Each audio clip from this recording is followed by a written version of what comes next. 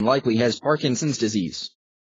Hillary Clinton's health has been the subject of intense speculation during the 2016 presidential campaign, in part because the candidate's fitness to serve is a valid concern to voters, and in part because it was seized upon by her opponents as a way to undermine her candidacy.